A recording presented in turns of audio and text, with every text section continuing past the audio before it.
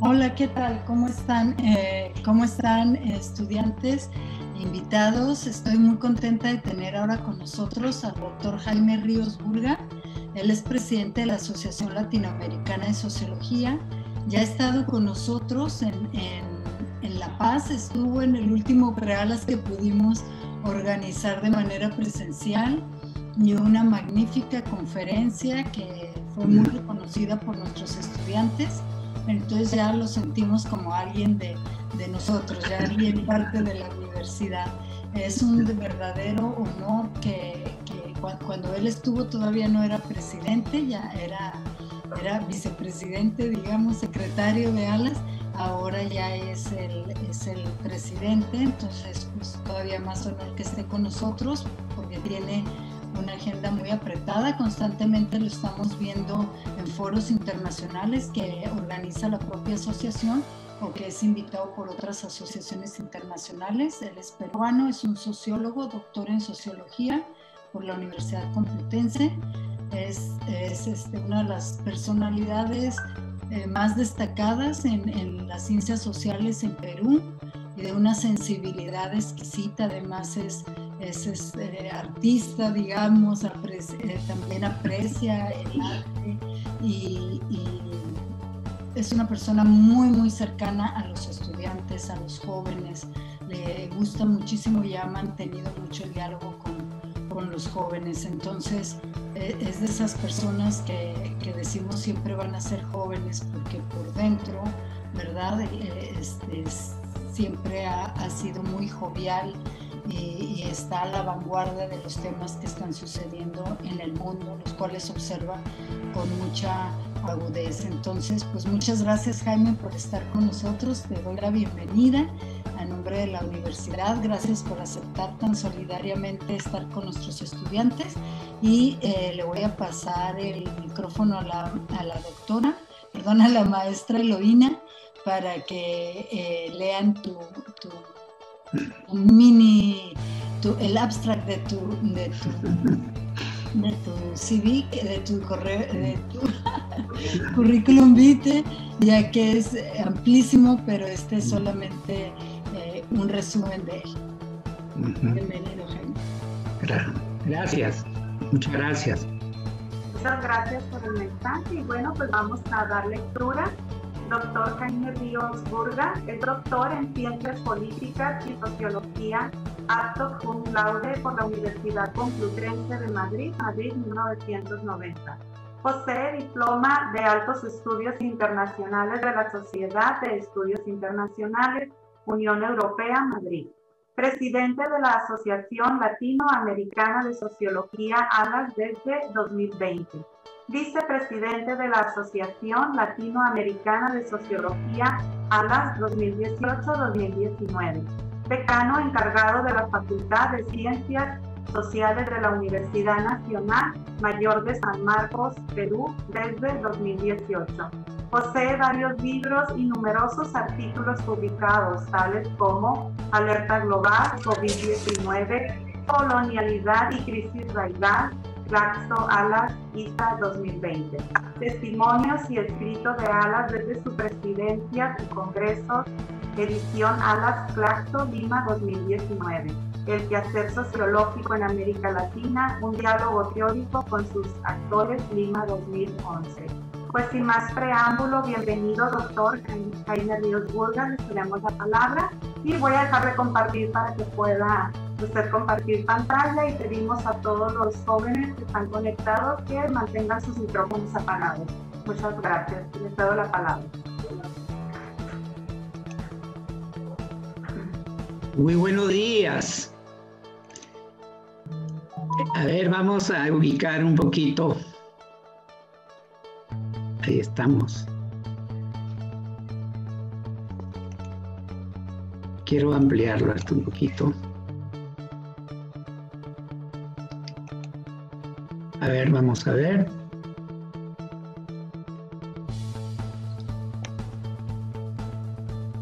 Ay, sí, te creo que ahí va. Sí, muy bien.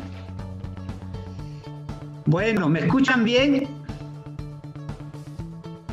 Claro, se escucha muy bien, doctor. Adelante. Muy buenos días con todas, todos y todes.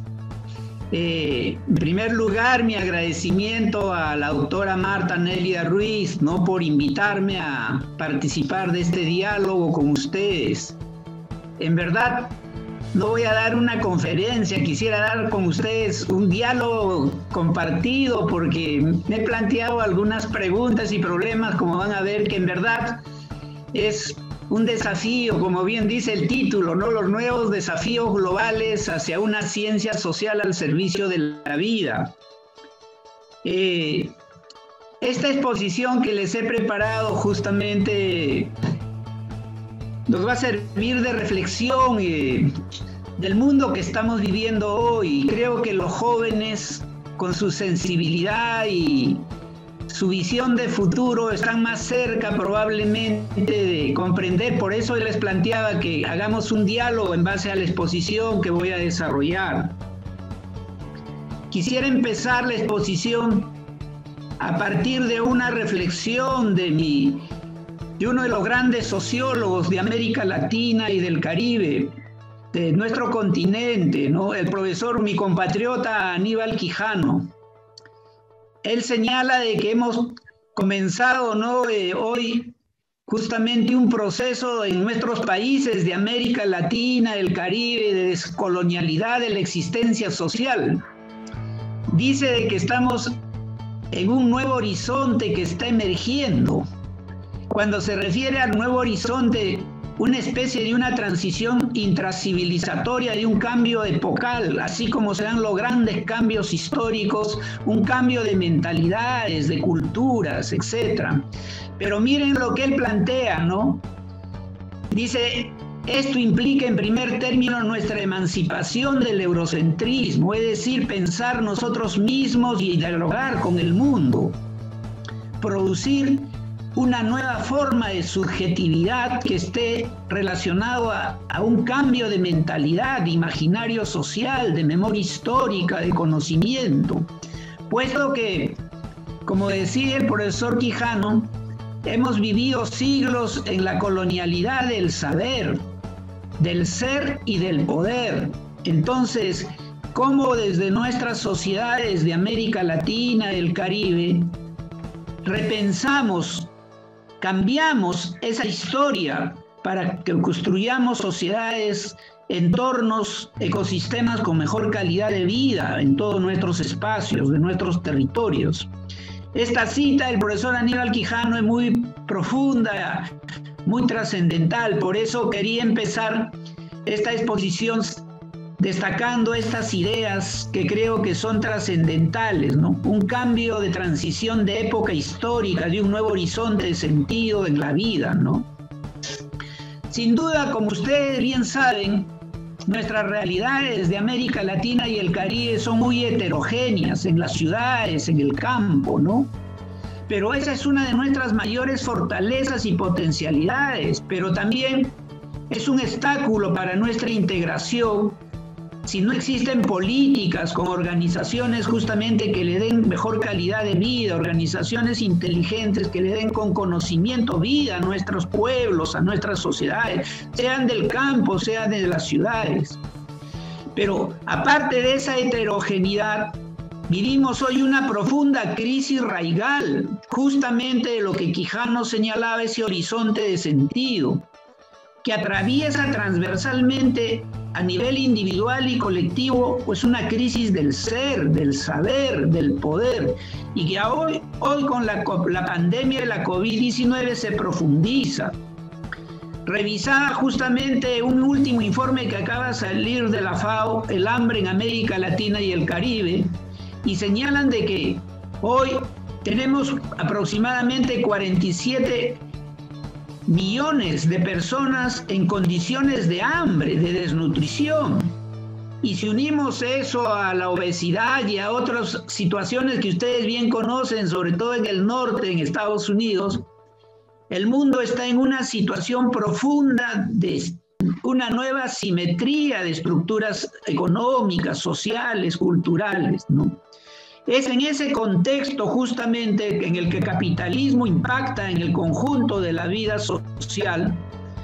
Es importante nuestros acercamientos al conocimiento de sus causas, de sus estructuraciones, qué está pasando en la intersubjetividad del conocimiento, ¿no? Y cómo debemos buscar construir justamente una nueva concepción civilizatoria desde los ecosistemas sostenibles, ¿no? Para hacer la vida más igualitaria, más democrática. Aquí, como ustedes bien saben, sobre todo ustedes jóvenes, estamos atravesando una interacción profunda ¿no? entre la red y el yo, el red y los grupos sociales y la red y el mundo simbólico, que ustedes lo conocen mejor que en mi generación, que la generación de Marta, porque ustedes lo viven directamente, ¿no? En ese escenario que estamos viviendo, que es global, que es único, que es diverso, hay tres problemas centrales, profundos, que estamos atravesando a nivel de la crisis civilizatoria que estamos viviendo. El desencuentro naturaleza-humanos, el desencuentro humanos-humanos y el desencuentro humanos-tecnologías. Y justamente esa es el trasfondo de la crisis de horizonte de sentido que estamos viviendo. Entonces, ¿cuáles son justamente esas causas que explican esta profunda crisis civilizatoria? Para construir una nueva cultura intracivilizatoria universal tenemos que comprender justamente sus racionalidades y esas racionalidades están vinculados a que lo yo lo le denominaba la crisis del ser, del saber y del poder. Por ejemplo, ¿no? la modernidad, ustedes saben, colonialidad, se construyó en base a un supuesto de simplicidad epistémica. Separaba el sujeto del objeto, la naturaleza del humano. Ese aspecto epistémico que ya desde Descartes separaba el cuerpo y el alma, tenemos que cambiar y ustedes la están cambiando más que nuestras generaciones, porque ustedes se dan cuenta a nivel individual y colectivo que no se puede separar lo material de lo espiritual. No se puede ser solamente objetivo. Es cierto que la objetividad y la racionalidad práctica, instrumental de la vida, es una dimensión de la realidad.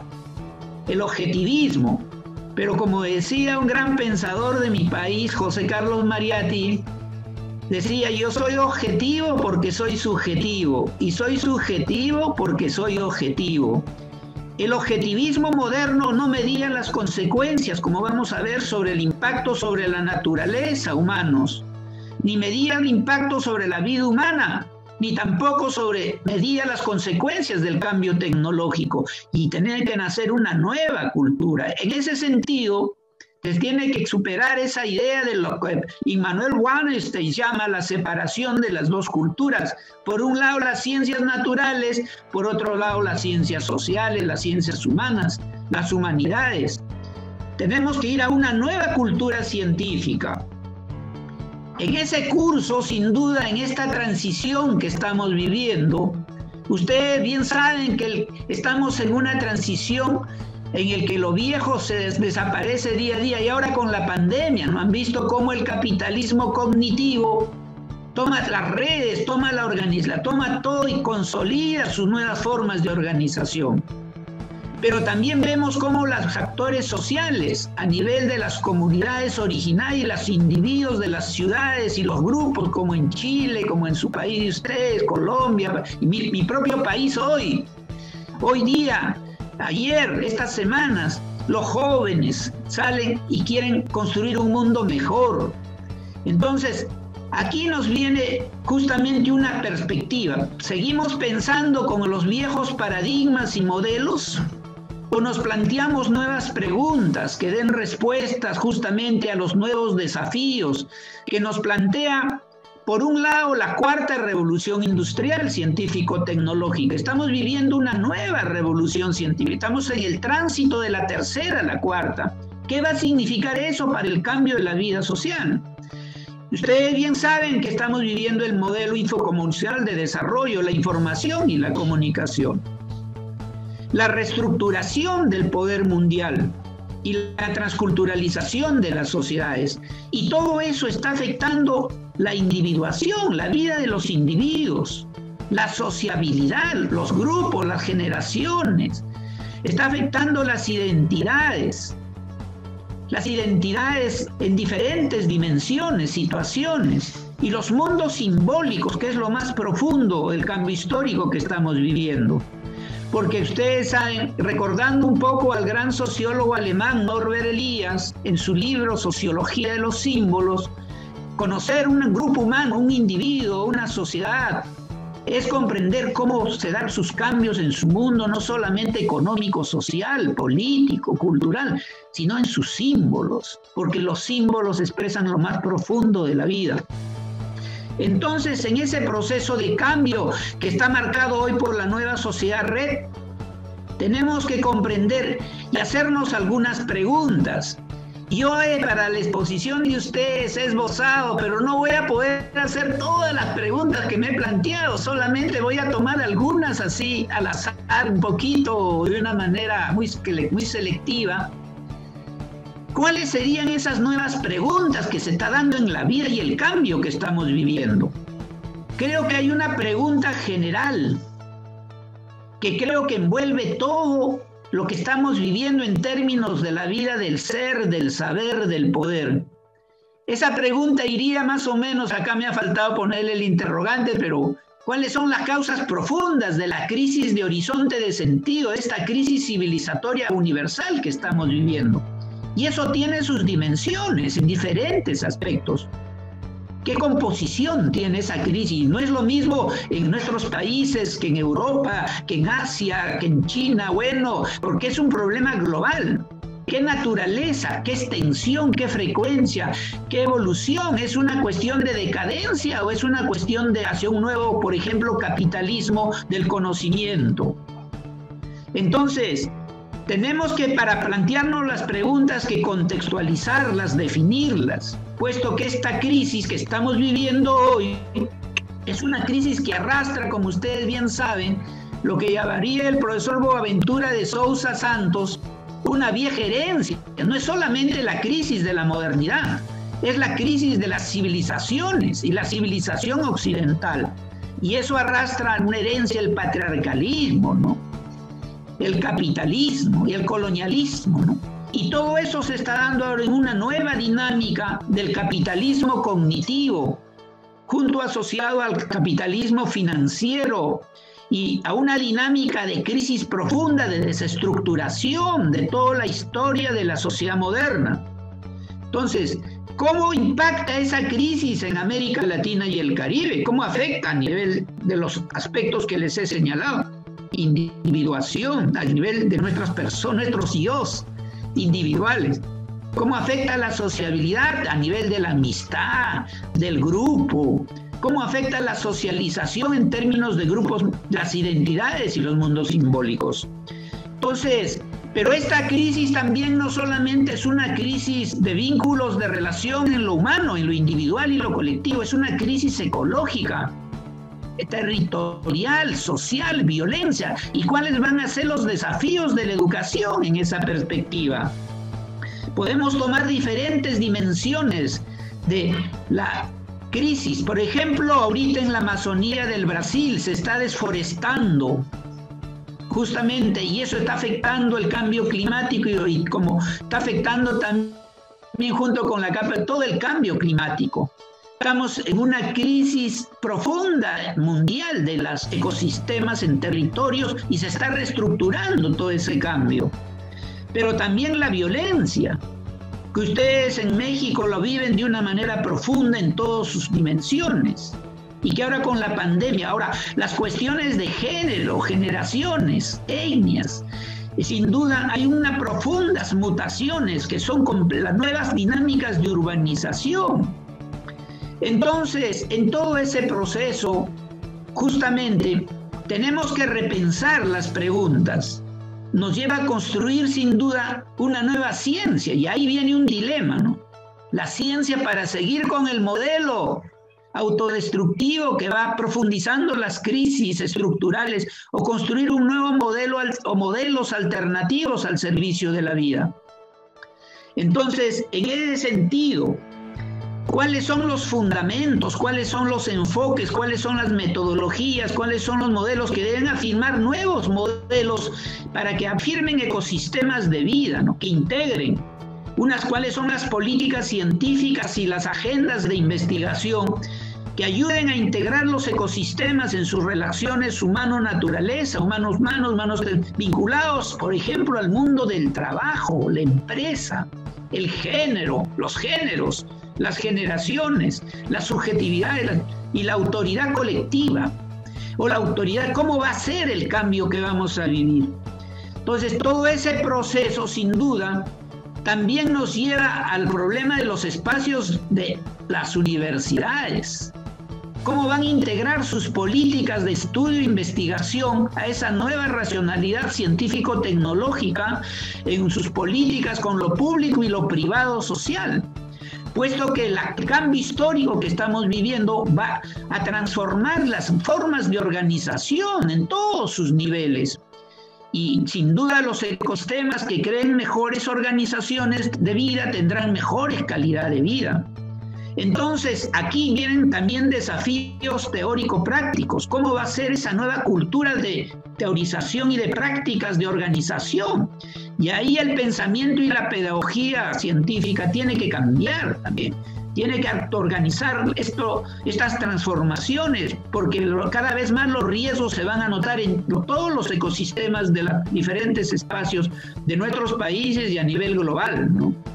Pero eso se tiene que dar en una afirmación del diálogo de saberes, como diríamos, entre ciencias, tecnociencias y también las propias comunidades y las vidas sociales en las nuevas comunidades y las nuevas urbanizaciones con el cambio que se va a ir dando. Entonces, todo este proceso nos lleva a cómo van a reordenarse, porque ustedes saben, la crisis de la política en mayúscula y minúscula es una crisis general. Hay una ya los jóvenes no creen en los viejos referentes de la política y lo político. Van a construir nuevas maneras de entender la política, como democracias de vida. ¿Por qué? Porque la vida no solamente está en riesgo la vida de los entornos de los ecosistemas, sino la vida en el planeta. Entonces, en todas estas dimensiones, cómo se van a articular las organizaciones con el cambio de la visión y la perspectiva de la política pública y privada social, en relación a los mercados, la propia organización de la vida social, la propia institucionalidad, cómo van a ser las nuevas formas de organización de la política y también los niveles jurídico y culturales de este cambio, buscando sobre todo el buen y bien vivir, ¿no? Entonces, en este mundo en el cual el Estado cada vez más se separa de la vida de la social, cómo el Estado debe integrarse a lo social para darle vida a las organizaciones, ¿no? Entonces, todo esto está vinculado también a los nuevos movimientos sociales y políticos que están surgiendo. Y sin duda, en contextos crecientes entre violencia y búsqueda de organizar y transformar los espacios de violencia. Por tanto, ¿cómo van a transformarse esos nuevos poderes y esos nuevos movimientos sociales y nuevas organizaciones políticas para encantar la vida social? puesto que hay un profundo desencantamiento con respecto a la política. Eso sin duda lleva a una redefinición de los conceptos clásicos de la política, ya sea de la democracia liberal o de la democracia neoliberal, que todo lo ha convertido, como ustedes bien saben, en un individualismo y en una mercancía. Entonces, ¿cómo se van a dar esas democracias colectivas, participativas y delegadas en la construcción de una nueva civilización que ordene la vida para la calidad de los ecosistemas. Ese es un desafío profundo, ¿no? Como dice aquí una movilización, miren ustedes, creo que era, no sé en qué país, pero lo saqué, democracia real ya. Construir sociedades transparentemente en el cual la corrupción de calidad de vida y la violencia no predomine. Entonces, allá hay todo un cambio estructural que estamos viviendo de acuerdo al tipo de países y situaciones. Entonces, ¿esto que nos plantea? Un nuevo imaginario, construir nuevos horizontes de sentido, un nuevo horizonte que no es único, sino es diverso, como es la vida en el mundo. Y entonces, ¿cuáles van a ser esos imaginarios que van a ordenar ese cambio? ¿Cuáles van a ser los intraconocimientos y las praxis que van a orientar colectiva y eventualmente esa transformación para vincular humanos naturaleza, para tener no solamente agua, no solamente tener aire, sino tener calidad de vida con las nuevas ciencias y tecnologías aplicadas a este cambio. Sin duda ahí, como vemos hoy, los estados-naciones están reaccionando frente a esas situaciones con sus políticas públicas, etc. Pero, ¿cuál va a ser sus políticas reales o se va a separar de esos cambios? Por otra parte, ¿cuál va a ser el nuevo papel de los movimientos sociales en ese cambio?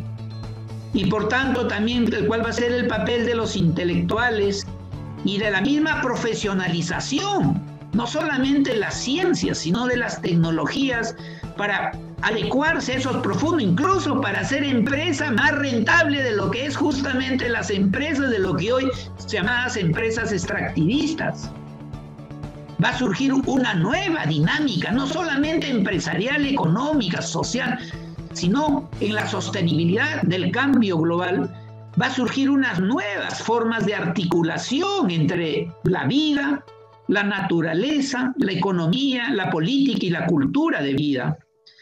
Entonces, todo ese proceso, sin duda, nos lleva a una reflexión profunda, ¿no? Miren lo que acaba de decir Castells. Ustedes saben, Manuel Castells probablemente es el sociotecnólogo más importante vivo, si no uno de los más importantes vivos de la humanidad.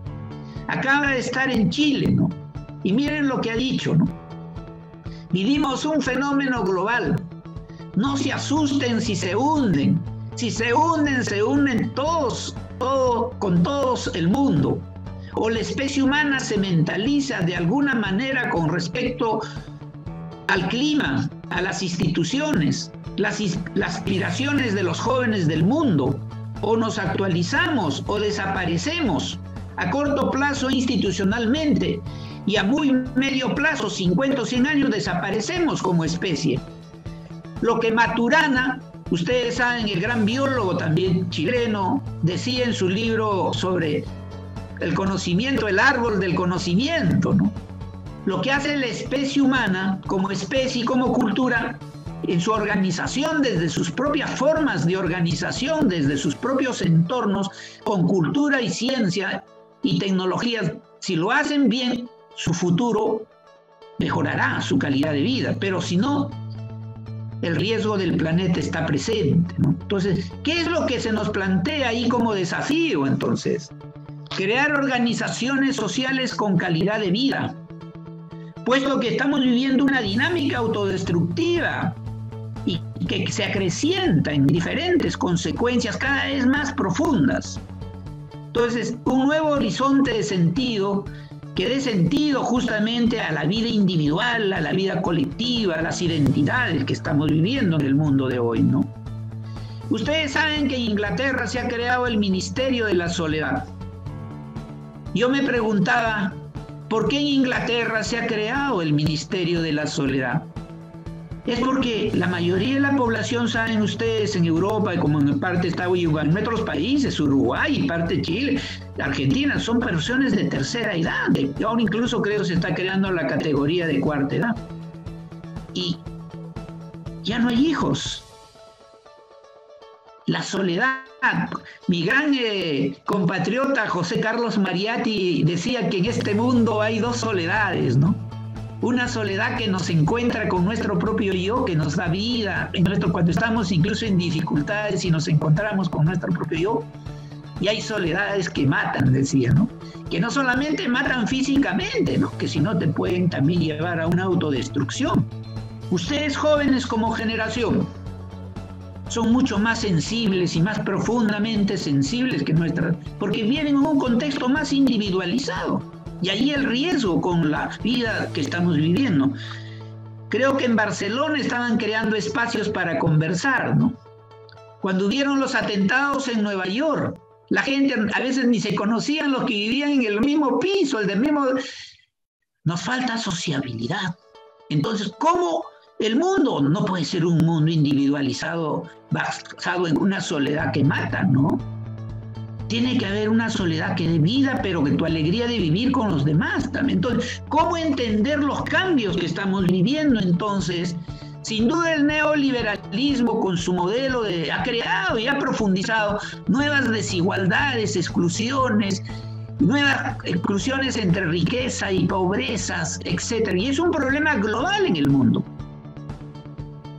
Miren en mi país ayer, las exportadoras que se, se consideran en mi país de mayor organización y todo, los trabajadores se han levantado en todas las zonas de mi país. Y escuchaba la entrevista de una trabajadora que decía, miren ustedes, me tengo que levantar a las 4 de la mañana para ir a las 5 a mi trabajo y me hacen trabajar desde las 6 de la mañana hasta las 4 de la tarde. ¿Cómo llamarle a eso? Quijano le decía la nueva esclavitud del siglo XXI. Sin duda, eso es vida. Entonces, y es el cambio profundo, estamos viviendo. Esa desestructuración, esas crisis, en este caso en el trabajo, por ejemplo, que atraviesa todos los géneros y son jóvenes. ¿ah? Son jóvenes.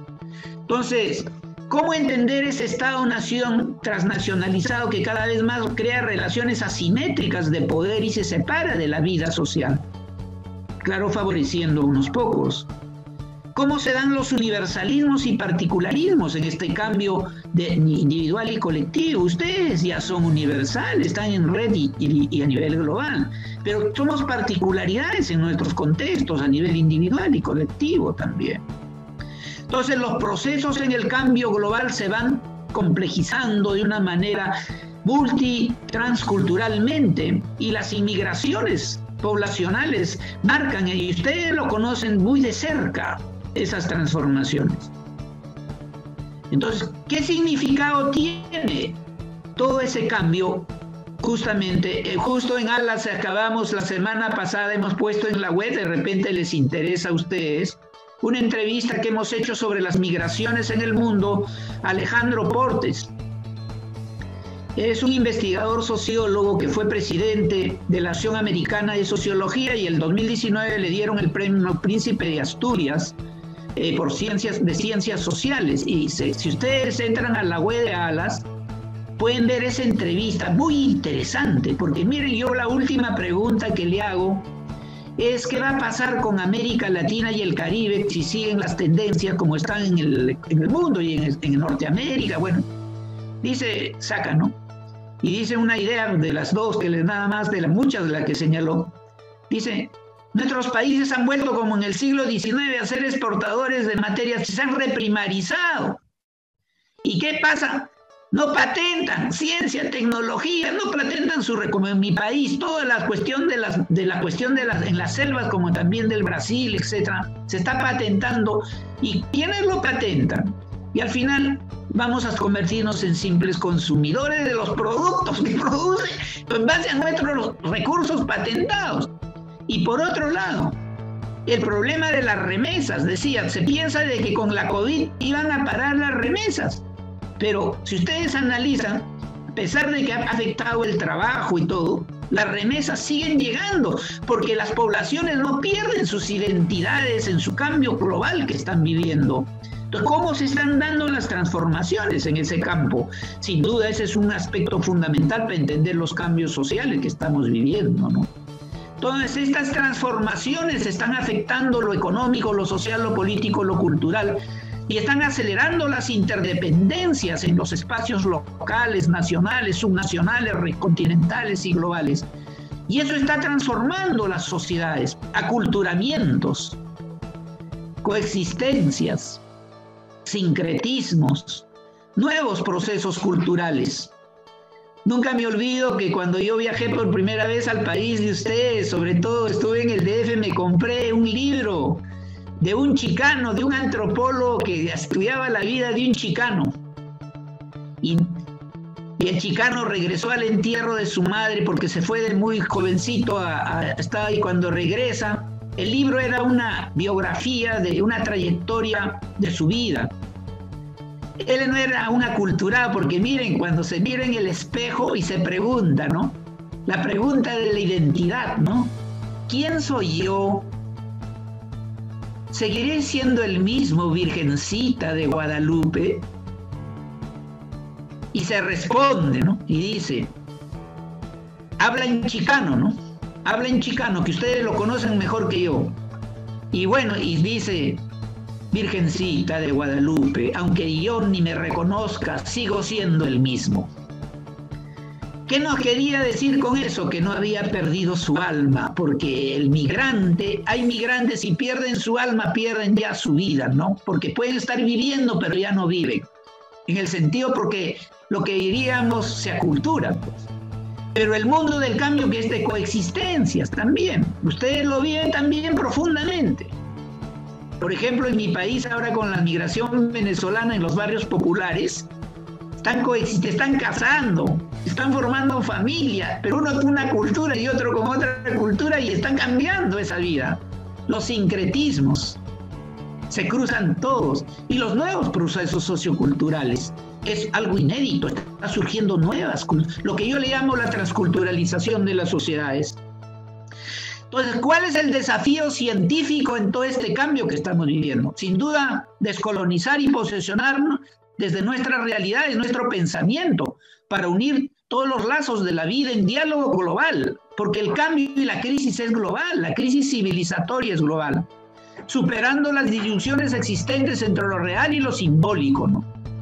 ¿Qué es lo que tenemos que hacer en las organizaciones de la vida, no solamente a nivel social, de los pueblos, las empresas, y ustedes lo están viviendo más con mayor profundidad que en mi país? Investigación, más desarrollo, más organización, más innovación, más aplicación, pero ¿para qué? Para crear organizaciones inteligentes de y para la vida.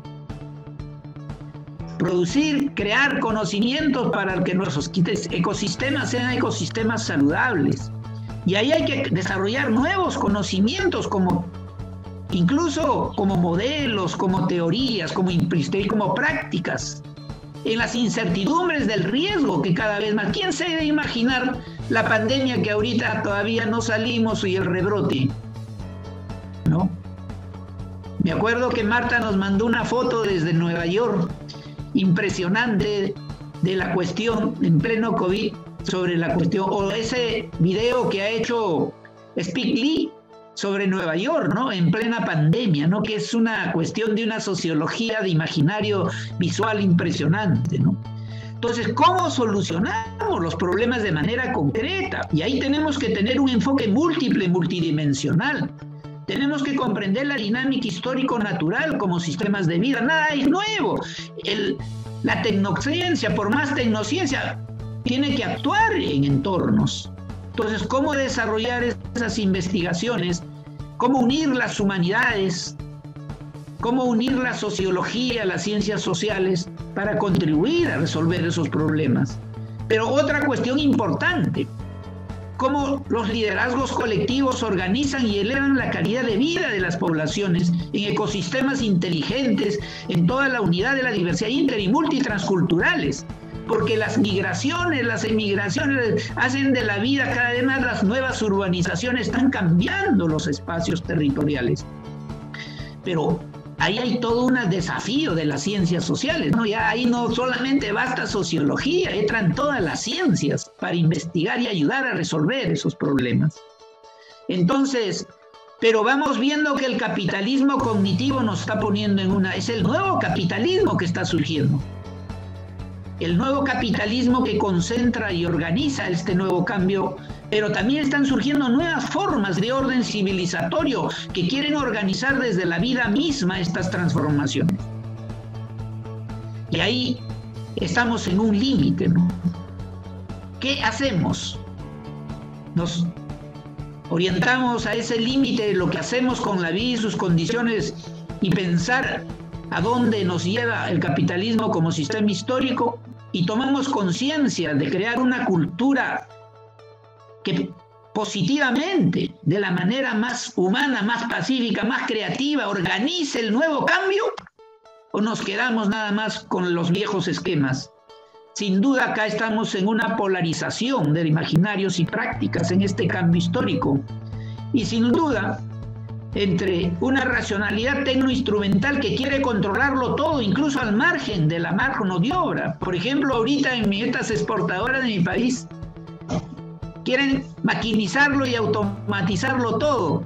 Y si yo me preguntaba, ¿en qué van a quedar esos miles de trabajadores? Sin duda es un nuevo mundo ya, ya no es del trabajo, ya pues es el mundo de la tecnología y tecnociencia que crea su propia lógica de control de la vida y que puede controlar no solamente la economía, puede controlar la política, la sociedad, la cultura, pero la vida es mucho más profunda, la vida social es mucho más profunda que la tecnociencia o un poder que se basa solamente en su poder egoísta. Tenemos que construir una civilización que busque un bien y un buen vivir, y ahí tenemos que unir la ciencia y la tecnología y las técnicas como organizaciones inteligentes de vida, ¿no? Es decir, ya voy concluyendo, ¿no? Nos vamos encontrando en un cambio histórico inter e intracivilizatorio global en el mundo. Hay unidad y hay mundos simbólicos diversos, así como el chicano.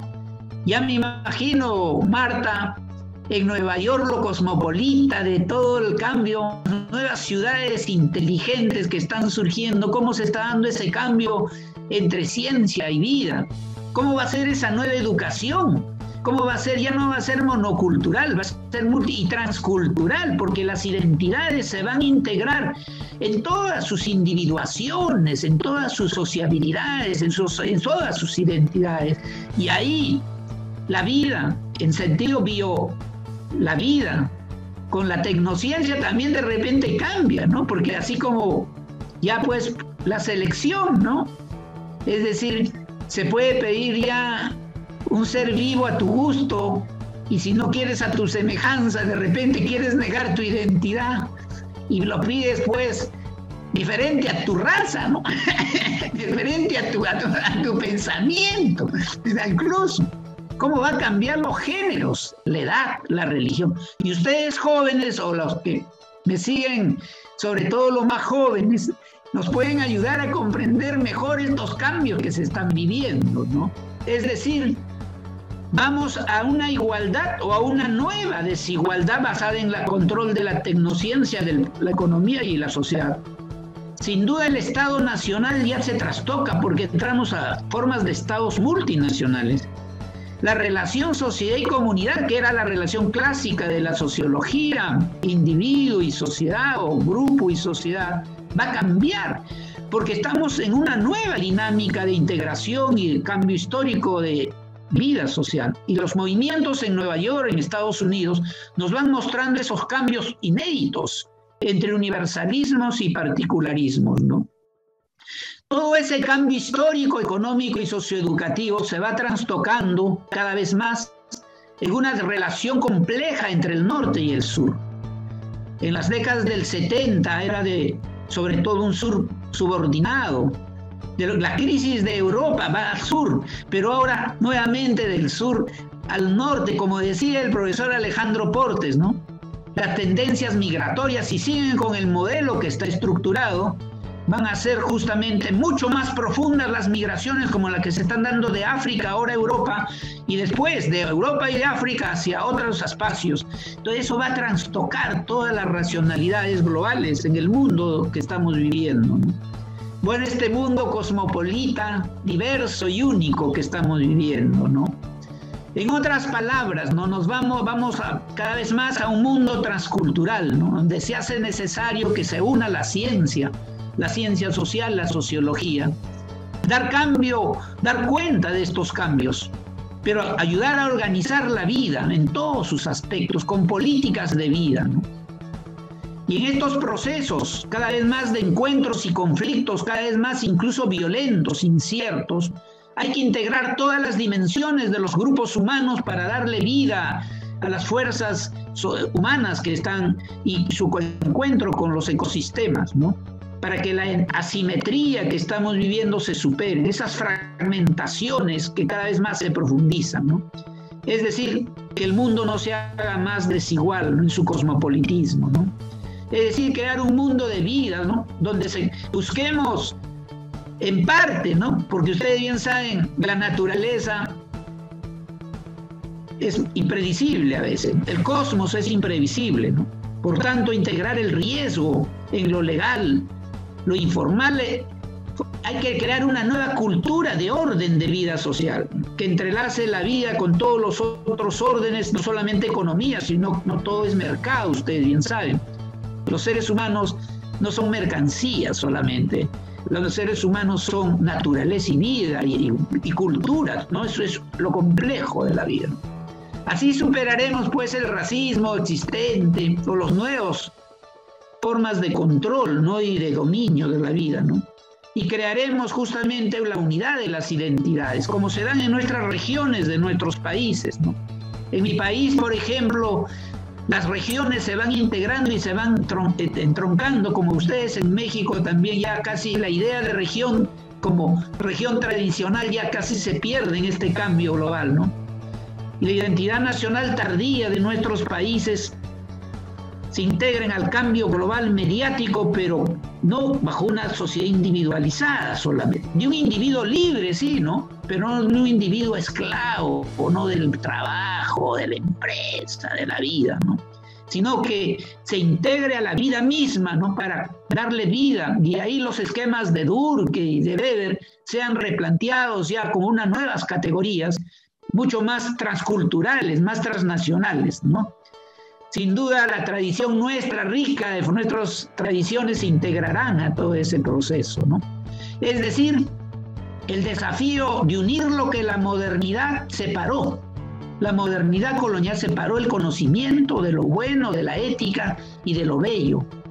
Tenemos que unir la vida individual y colectiva uniendo lo verdadero con lo bueno y lo bello. ¿no? De ahí la ciencia social tienen que trabajar ya no como individuos, tienen que trabajar como equipos al servicio de la vida, ¿no? En otras palabras, un modelo transcultural que parta de la creatividad colectiva e individual de la vida. Y los individuos se desarrollen en todas sus capacidades, pero también sirviendo a la vida, a lo colectivo, ¿no? Es decir, un nuevo conocimiento y experiencia en la unidad de nuestras diversidades y en el conocimiento de las experiencias. Es decir, unamos a la especie, pues como especie y a la especie como cultura, como decía Maturana, ¿no? Y como decía Castells, tomar conciencia, ¿no? El reset. Es decir, para construir una civilización transcultural de vida, ¿no? Yo quisiera justamente concluir esta exposición, ¿no? Sin duda, en este mundo de estas racionalidades, de estas polarizaciones que estamos viviendo, Quisiera concluir con mi compatriota José María Arguedas, ¿no? que Vargas Llosa lo criticó como arcaico, ¿no? Pero cuando recibió el premio Nobel, lo alabó porque Arguedas era como Joyce, ¿no? Quería comprender la vida en la unidad entre naturaleza, humanos, humanos, humanos y humanos, tecnologías, ¿no? Les recomiendo que lean su escrito La Oda al Jet, cuando estuvo en Nueva York y Arguedas era como un Nietzsche que le gustaba estar en los lugares más profundos para conocer la vida, en los más pobres, los más miserables. Y en Nueva York escribió la Oda al Jet cuando estaba en esos espacios que bien justamente Marta nos podría contar, es directa o indirecta, cómo son esos lugares. Él dijo, y esto lo podríamos, estas palabras que él dijo lo podríamos universalizar, ¿no? Para toda la vida, para toda la cultura humana, para todas las sociedades, para todas las personas que viven y aman la vida, ¿no? Dijo algo así, ¿no? Escribió algo así cuando recibió este premio que en literatura en mi país es uno de los premios más importantes, el más importante. Porque el Inca Garcilaso de la Vega fue un hijo de una madre cusqueña y un padre español, pero cuando fue a Europa lo despreciaron, ¿no? Y es ahí cuando escribió los comentarios reales, ¿no? Del Inca Garcilaso de la Vega. Entonces Arguedas, recogiendo esa herencia milenaria de las diversidades de nuestras sociedades, escribe y dice, ¿no? Yo no soy un aculturado, yo soy un peruano que orgullosamente como un demonio feliz habla en cristiano y en indio en español y en quechua, yo diría y en todas las lenguas. El otro principio fue el de considerar siempre el Perú como una fuente infinita para la creación, perfeccionar los medios de entender este país infinito mediante el conocimiento de todo cuando se descubre en otros mundos. No, no hay país más diverso, más múltiple en variedad terrena y humana. Todos los grados de calor y color, de amor y de odio, de urdiembres y sutilezas, de símbolos utilizados e inspiradores. Como México, lindo y querido, ¿no? que es tan civilizatoriamente también tan diverso y único como es el mundo de la vida y es el mundo de las civilizaciones, porque sin duda nuestros territorios han tenido civilización y por eso que ahora podemos reflexionar de así a esta dimensión, porque en el diálogo de igual a igual con los europeos, los estadounidenses, que se creen más estadounidenses que bueno, que los originarios, hay que pensar el nuevo cambio civilizatorio, ¿no? Para darle vida a la vida, ¿no? Muchas gracias. Pasaríamos a conversar. Muchísimas gracias, doctor Jaime Ríos Burga, por la excelente conferencia que nos ha impartido con ese entusiasmo y esas ganas y esta fuerza, ¿no? Pues como ya conocemos la dinámica, jóvenes estudiantes, es momento de plantear sus preguntas en el chat de esta reunión que estamos llevando. Y para dar seguimiento doy el uso del micrófono al maestro Kevin Santana para que dé lectura a, las, a todas las cuestiones, preguntas o dudas que tengan ustedes que plantear.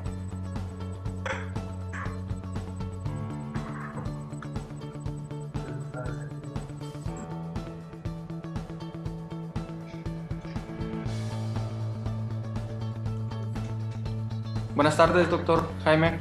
Buenos días. Hola, Hola ¿cómo estás? Muy bien, gracias. ¿Usted?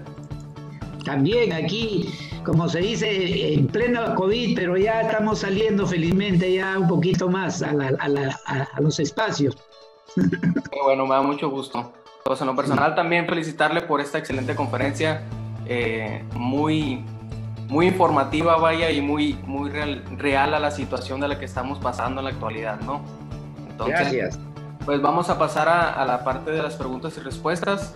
Aquí eh, está comentando eh, Erasmo de Hermosillo. Dice, excelente conferencia y muy interesante. Gracias. También nos comenta aquí Raimundo eh, Alarcón. Dice, a las personas que vivimos al día perdimos nuestros ingresos, pero buscamos nuevas alternativas. Los niños, a pesar de no asistir a la escuela, realizan sus actividades de manera virtual ¿Realmente hay aprendizaje o están aprendiendo más cosas y en corto tiempo? Cuidar el planeta es el propósito, el capitalismo continúa su rumbo, la soledad invade el tiempo, efectivamente nos actualizamos o desaparecemos. Gracias por su ponencia, cuídese mucho. Claro, mira, muy interesante la intervención de su compañero, ¿no? Justo tuvimos un conversatorio en la Asociación Latinoamericana de Sociología y hubo un, colega que participaba, que tuvo y, trabaja estos cambios vinculados a no solamente la educación, sino a la sociedad red que estamos viviendo hoy. Y bien decía de que, y es lo que yo les decía, el capitalismo cognitivo, ¿no? que sería la nueva manera de organizar las cosas en base al conocimiento y bueno, eh, altamente sistémico, ¿no? Lo que algunos llaman, Giddens, por ejemplo, le llama los sistemas abstractos, los sistemas de alta organización.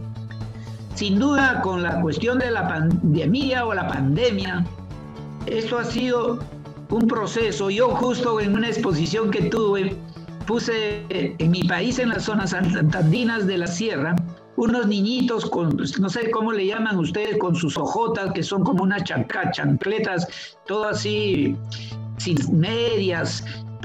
Querían comunicarse para escuchar, porque les hacen sus clases, ya sea con la radio o le hacen de querer eh, eh, unirse a, internet, al, programa del Estado. Y en plena lluvia, no se podían, no se podían comunicar. Y yo señalaba que, como decía este colega, que ahorita en el cambio global estás viendo un nuevo desfase estructural en los que tienen mejores condiciones de infraestructura y redes y conocimiento organizado. Y eso está creando una nueva... el queso? en el mundo. Y sobre todo está en las sociedades que no tienen políticas organizadas de apoyo a los sectores más desfavorecidos. Incluso en las universidades, los alumnos están llevando sus clases a veces con sus celulares y a veces no tienen todas las condiciones. Y eso a los que sí están en sus medios más de comodidad, entonces eso está creando un nuevo desfase estructural en el mundo. Entonces, y eso tiene que ver con el derecho justamente de equidad educativa, pues no, ahí hay un problema ya de fondo, ¿no? Entonces, sin duda, eh, ese es ahora el trabajo que deciden los jóvenes, ¿no? Sin duda aquí también, ¿no? se nota claramente el impacto sobre el mundo laboral, por ejemplo, como el trabajo a domicilio, en el caso educativo, como decía también este colega, ha profundizado el trabajo, no es, mucho, es mucho más complejo y tiene mayor intensidad de esfuerzo de los profesores que están trabajando en casa que antes cuando trabajaban cara a cara, como se dice en los espacios. Ahora, todo depende de la calidad de los profesores y la organización institucional y de liderazgo que tienen las instituciones, puesto de que, y también el soporte técnico de infraestructuras. Yo creo que todo eso se une y depende de los contextos, ¿no? De los contextos. Ahora eso, muy bien decía, creo que, que el capitalismo sigue su rumbo, ¿no? Es como la ley de la evolución, desde luego darwiniana, pero que ahora toma el carácter del capitalismo del biopoder, ¿no? Sin duda es una estructuración, pero no todo es determinista tampoco, pues. Porque los individuos y las colectividades se organizan y se adaptan de acuerdo a sus perspectivas, de acuerdo a sus maneras de organizar. Y sin duda, y esto lo decía otra persona que intervenía en otro coloquio, que por ejemplo en la India y en la China, los migrantes profesionales que han llegado, por ejemplo, de los mejores centros de Estados Unidos o incluso de, con respecto a tecnologías, están creando también sus ciudades inteligentes. De tal manera que ya no se están convirtiendo solamente en consumidores, sino están ofreciendo a sus entornos organizaciones de conocimiento. Es decir, yo creo que estamos en el principio de todo un proceso histórico que sí es cierto, es un cambio, una ruptura radical como decía el mismo Castells, cada cambio sociotecnológico trae una nueva manera de organizar todo, ¿no? Y eso está afectando hasta el estilo de vida, hasta las relaciones interpersonales. Creo que ahora incluso hay hasta amores virtuales, pues, ¿no? Relaciones a nivel intersubjetivos, etcétera, etcétera, etcétera. Entonces, va a cambiar profundamente lo que yo les decía, a un nivel muy general, los procesos de individuación, los procesos de sociabilidad, los procesos de socialización de identidades y lo más interesante, los cambios simbólicos. ¿no? Es decir, a nivel individual y colectivo van a crearse, pero ya no va a ser como ha sido el siglo XIX y siglo XX, como fue el Fordismo en la Segunda Revolución, por ejemplo, sino este ya es otro proceso con nuevas particularidades de organización y de, podríamos decir, de tecnociencia, incluso porque ya llega a tal grado sistémico el control que los, los programas organiza no solamente economía, sino educación. Y estamos entrando a una nueva etapa, ¿no? A una nueva etapa, ¿sí? muy bien, muchas gracias por su respuesta. Comenta Paulina de los Cabos, dice, muchísimas gracias por su conferencia, fue muy interesante. Mi pregunta es la siguiente, ¿cómo adoptar políticas más sensibles a las perspectivas mundiales a largo plazo? Bueno, esa pregunta la respondo como respondía Quijano, mi gran, el gran maestro, uno de nuestros grandes científicos sociólogos del mundo. Él decía, las cosas no caen del cielo, bueno, hay que lucharla desde dentro y desde fuera, ¿no? hay que lucharla desde dentro, organizando el nuevo conocimiento para la vida, las nuevas formas de tecnociencia para la vida, y por otro lado, desde fuera, buscando que sirvan también que se reformen para servir a la sociedad, a la vida también, ¿no? A la naturaleza. Sí. Muy bien, muchas gracias. Diego de los Cabos comenta, muy buena ponencia. Es importante que se haga una globalización justa. ¿Qué rol lleva la generación de cristal para afrontar las problemáticas que, que ya llevan años? A ver, me gustaría que me explique un poquito en qué consiste esa generación de cristal.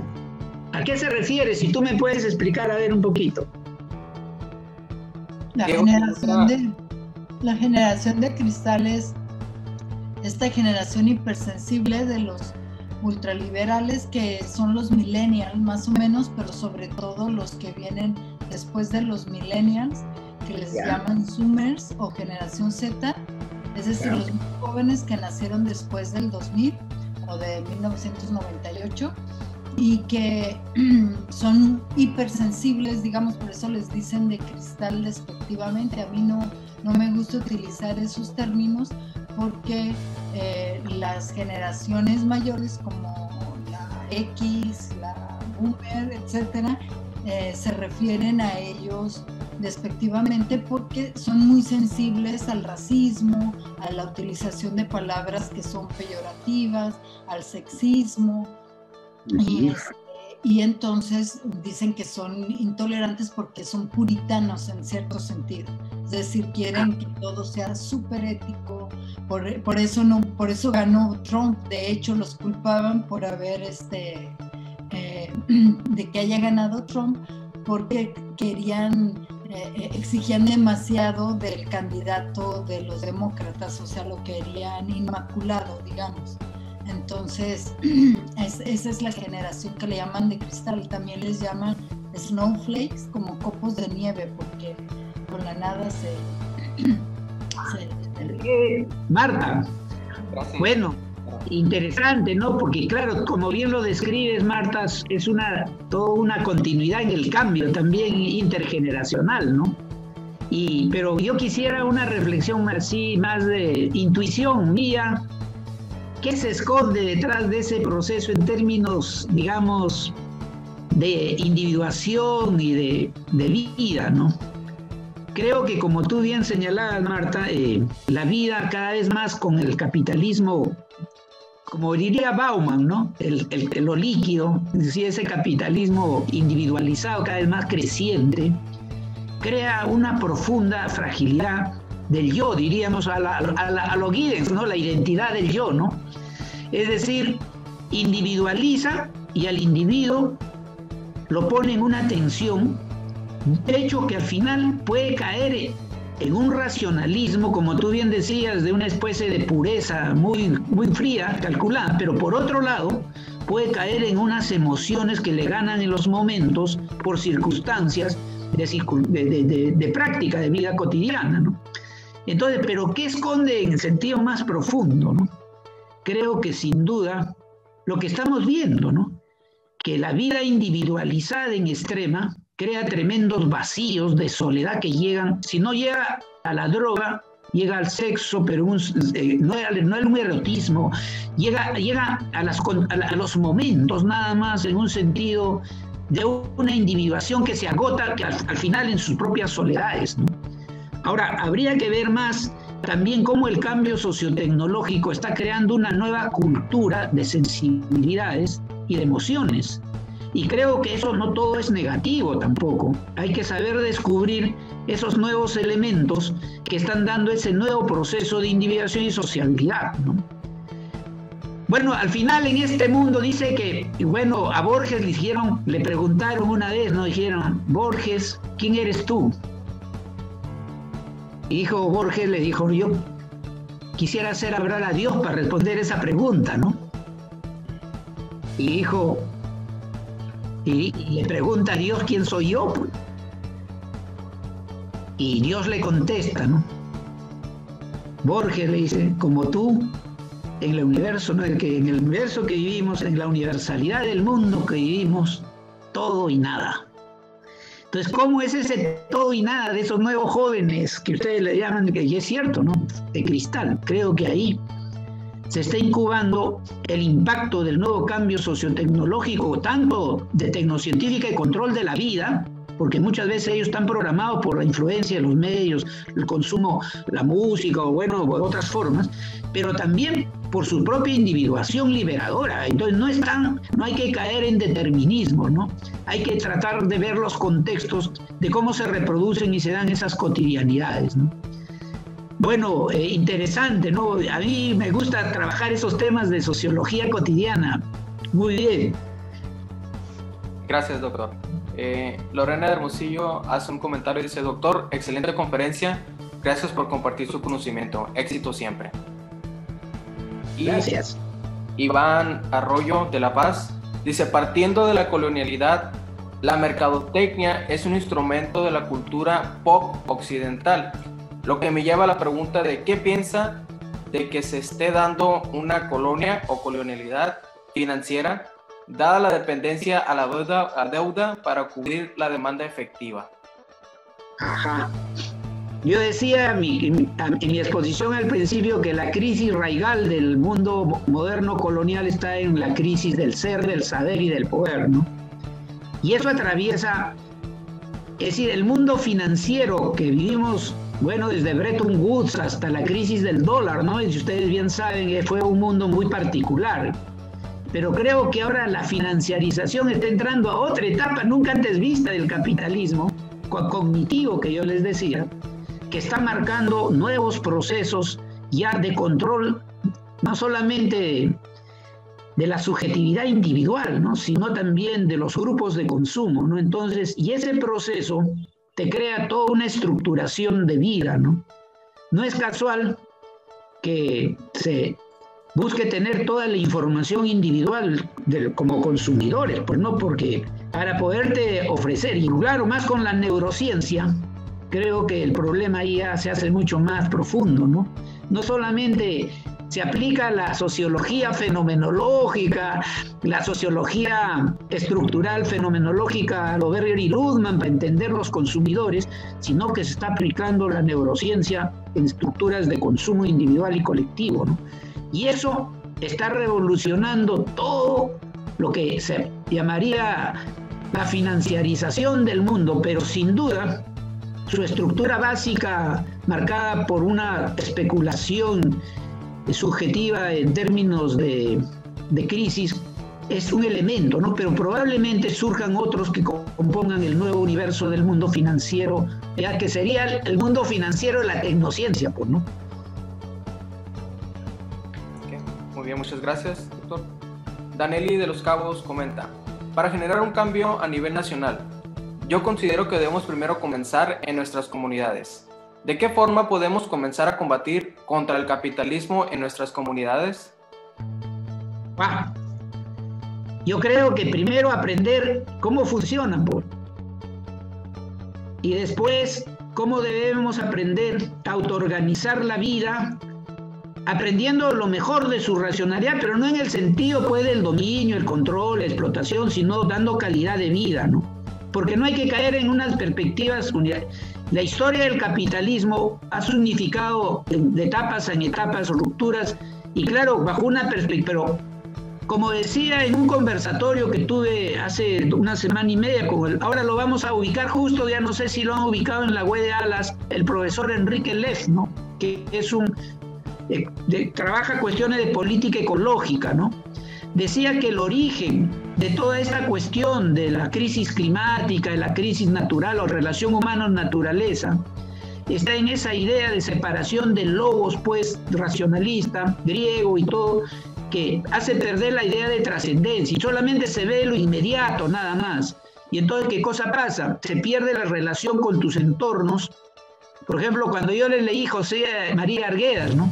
José María Argueras, aparte de esa oda al cuando estuvo en Nueva York, dialogaba con la naturaleza, con las plantas, con la... Es decir, establecía, si bien es cierto, era consciente que la naturaleza tenía no humana, ¿no? Su propia lógica.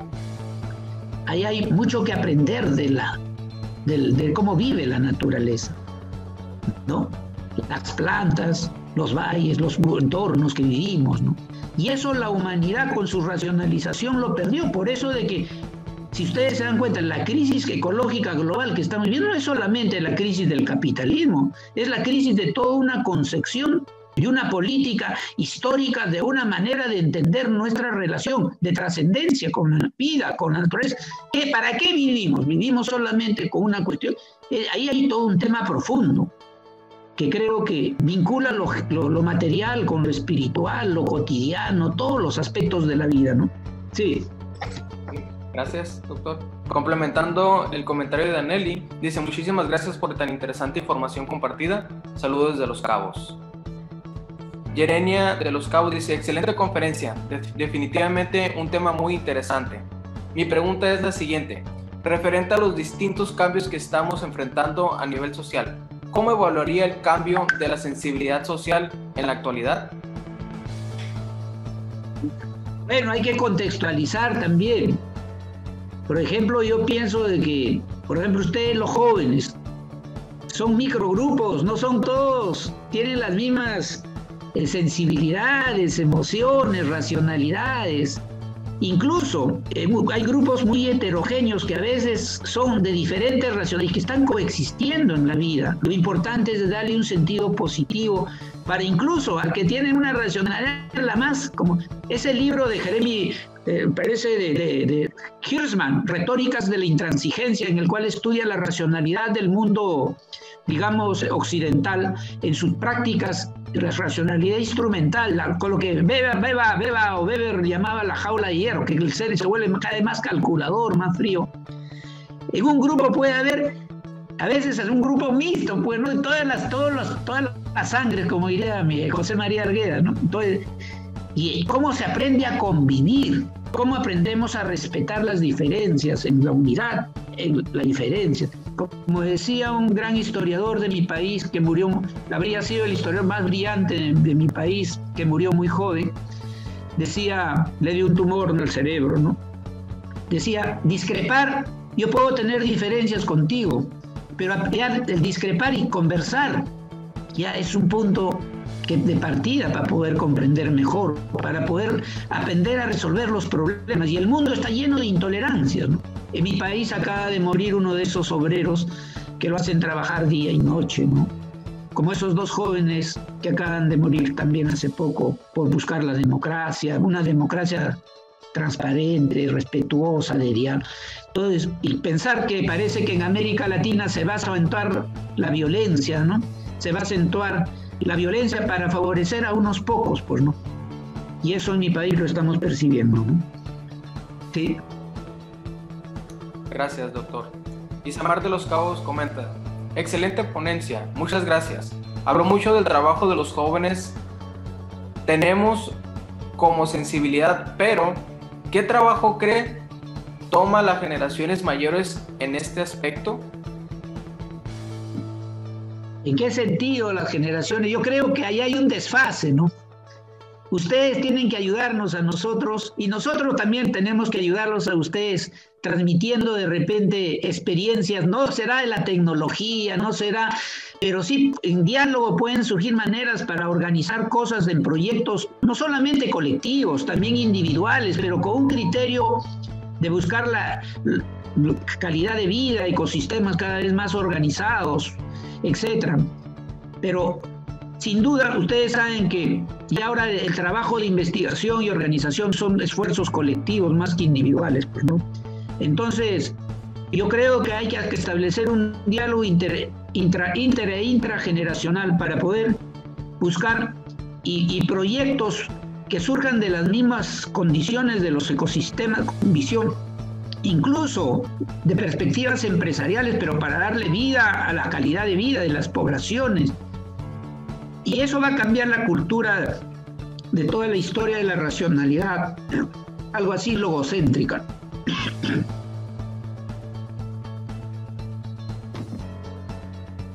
Sí, muy bien. Gracias, doctor. Tristan de los Cabos comenta, muy buena conferencia, me pareció muy interesante los temas que tomó en la presentación. Mi pregunta es, ¿cuál cree usted que es el primer paso que tenemos que dar como sociedad para que todos los cambios que sucedan en la actualidad no nos afecten de una manera negativa? Creo que el primer paso fundamental es amar la vida.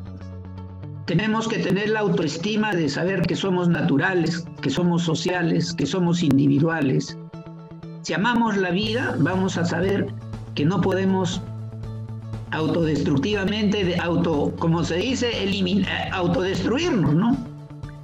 Entonces, la identidad humana va a depender mucho de esa relación profunda desde los individuos y los grupos que unan esfuerzos en sus diferencias incluso, ¿ah? cuando esa unidad muy profunda, ¿no? que es no solamente de cuerpos, es de espiritualidad, de emociones, de cotidianidades. Y eso va a ir creando. Y ustedes, los jóvenes, ya tienen mucho de esas sensibilidades.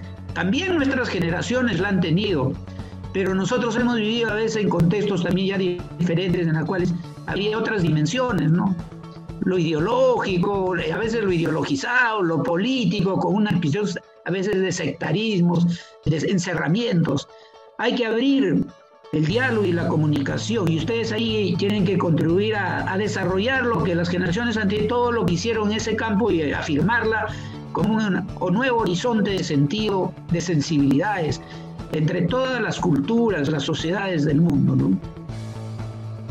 Gracias, doctor. Esmeralda de los Cabos comenta, buenas tardes, excelente conferencia. Me pareció muy interesante cómo abordó el tema. Mi pregunta es, ¿Cómo podemos hacer el cambio para tener una mejor calidad de vida? Bueno, depende también de los contextos, ¿no? Yo creo que nos falta ahí, por ejemplo, en los espacios urbanos, me imagino, ¿no? Miren ustedes, en mi país, en Lima, ¿no? Donde yo estoy ahora, en los espacios las poblaciones llamadas, entre comillas, informales han desbordado la COVID, ya no piensan, bien, porque no tienen que salen a trabajar, salen a, como en México también es igual, creo, en la sobrevivencia de esta situación. Entonces, en los espacios urbanos dependen de los contextos, ¿no?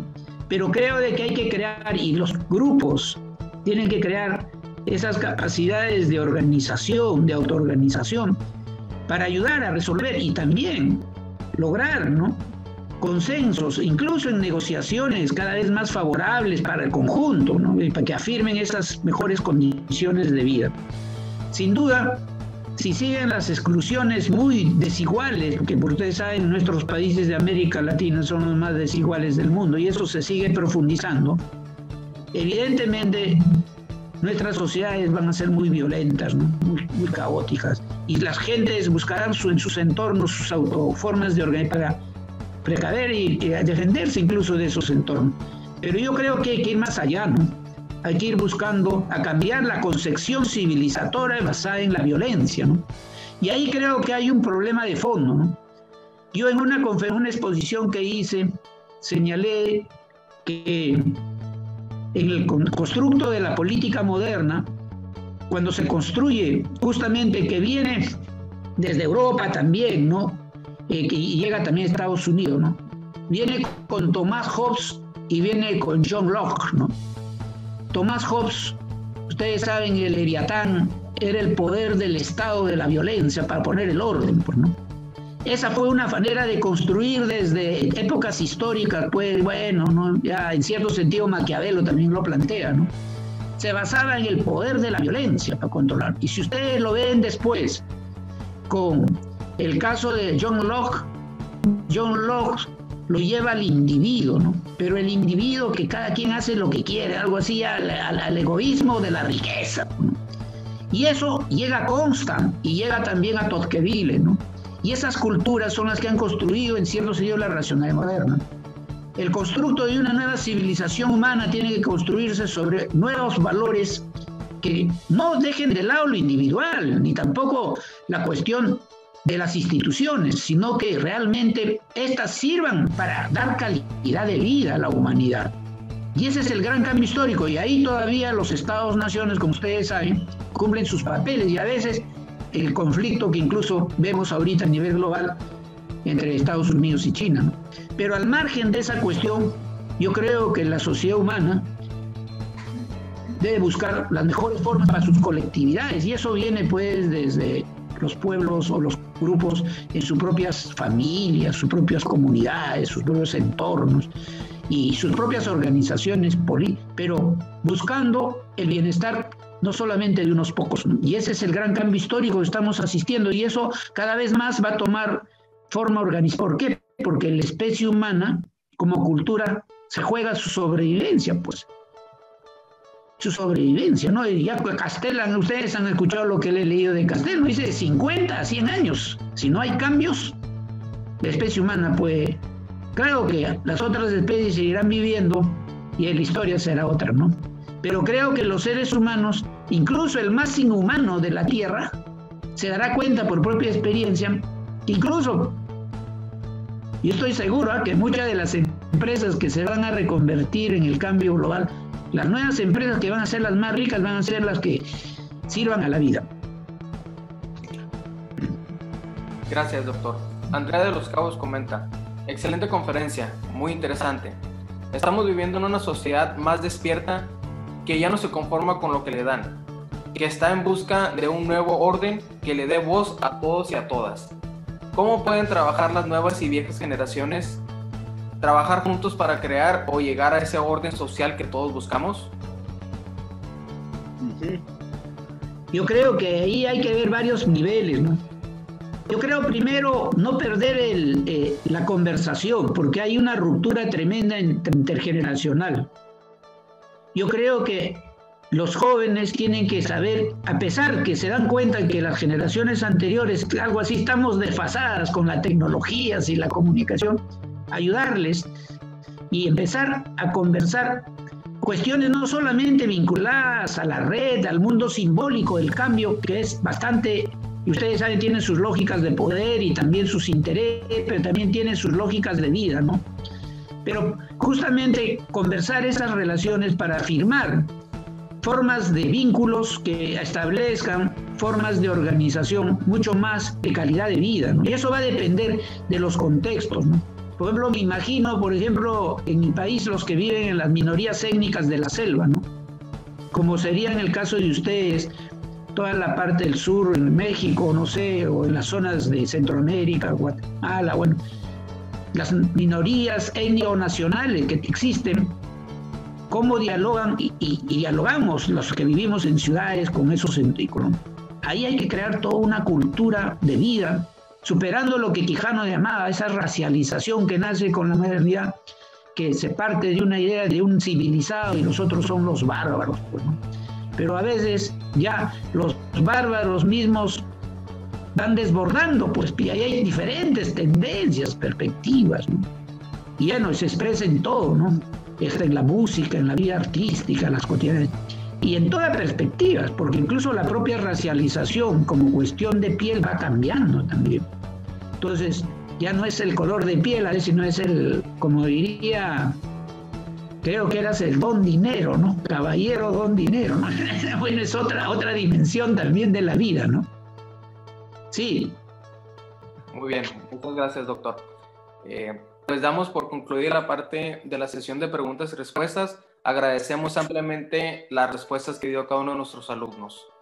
Doy el uso de la voz te agradezco, les agradezco muy. Eh, pido a, Marta que le agradezco una vez más por su gentil invitación. Y bueno, espero que alguna oportunidad les visita para ir para conversar con ustedes ya más cara que físicamente y poder ir a, estar unos minutos, aunque sé que esas playas lindas que tienen ustedes. Entonces, pero en el sentido más humano y más natural, ¿no? Más humano y más natural. Eh, no sé, le pido a Marta si han grabado la conferencia, que me, pide, me lo envíen el link y la, para ponerlo en la web principal de ALAS para que se conozca en toda América Latina, el Caribe y el mundo. Claro, le vamos a hacer a la maestra Eloína para continuidad del evento. Sí. Ok, muy bien, muchísimas gracias. Excelentes aportaciones para nuestros alumnos. Eh, pues le pediría, doctor Jaime, si pudiera dejar de compartir pantalla. Por favor. Ok, muy bien, muchísimas gracias. Pues es momento de llegar a la conclusión de esta excelente conferencia. Eh, para, lo, para esto le cedo la palabra de nuevo a nuestra rectora, doctora Marta Nélida Ruiz Uribe para que haga entrega de un merecido agradecimiento por tan excelente conferencia. Permítanme. Adelante, doctora, compartiré pantalla.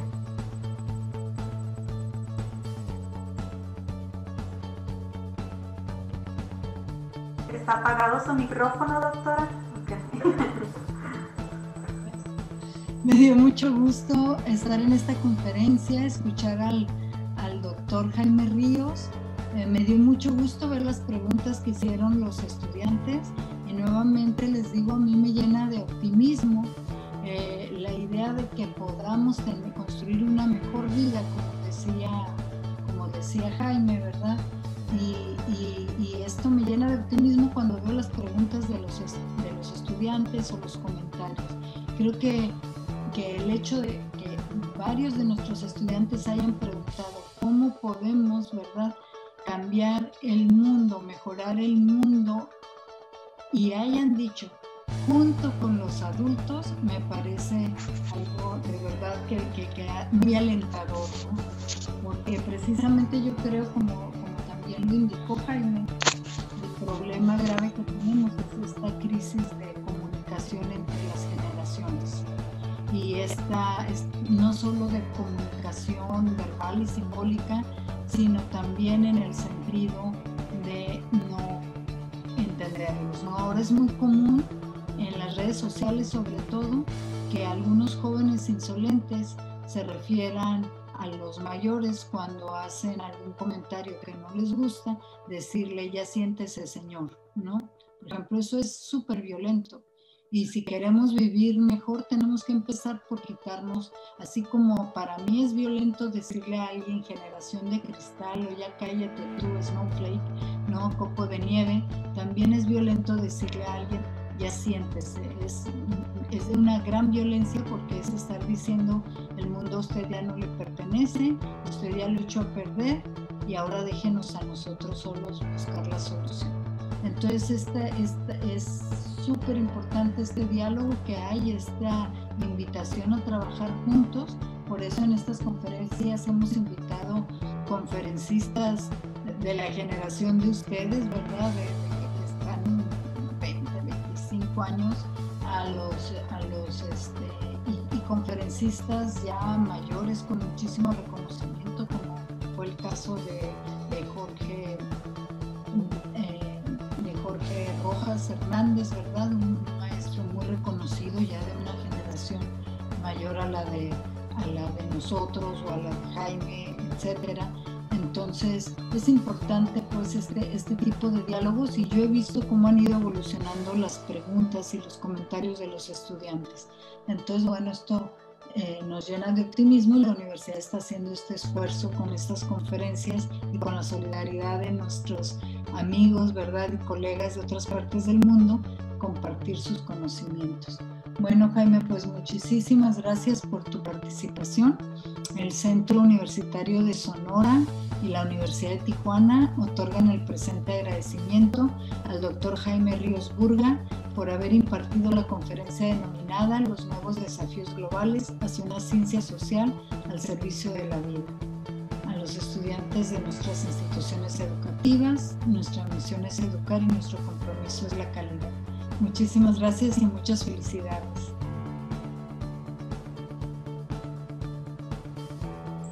Muy bien, muchísimas gracias. Pues ha sido un honor contar con, la, con las experiencias del doctor Jaime Ríos Burga y pues agradecemos la participación a todos los estudiantes, así como a todos los directivos de todos los campus que comprenden el Centro Universitario de Sonora, la Universidad de Tijuana, el Instituto Universitario Internacional de Toluca, que también están aquí. Muchas gracias a todos, ha sido una, una excelente conferencia y les deseamos una excelente tarde. Muchísimas gracias, doctora, rectora. Muchísimas gracias, doctor Jaime Ríos, por su tiempo pues sería todo por este día y, pues que tengan una, un excelente fin de semana a todos.